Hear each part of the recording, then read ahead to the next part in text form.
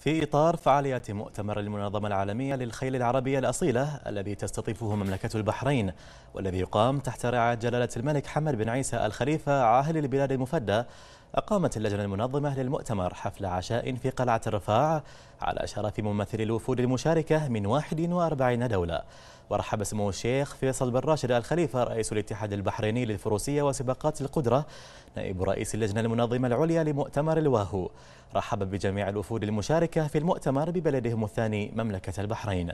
متمنيا لهم طيب الإقامة ومشيدا في الوقت ذاته بجهود جميع أعضاء الجمعية العمومية للمنظمة الدولية. ومؤكدا حرص مملكة البحرين على ترجمة رؤى القيادة الرشيدة بتحقيق النجاح المنشود للحدث.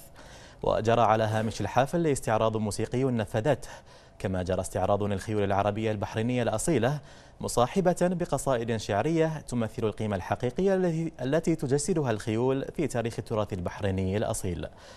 وحرصت اللجنة المنظمة العليا للمؤتمر على إقامة الحفل في قلعة الرفاع وذلك في إطار استراتيجيتها باستغلال تواجد هذا الكم الكبير من الدول المشاركة للترويج لأبرز الأماكن التراثية في البحرين بالإضافة إلى الحرص على عكس صورة تنظيمية مشرفة عن المملكة وإيمانا بأهمية إبراز أهم المعالم التراثية الوطنية.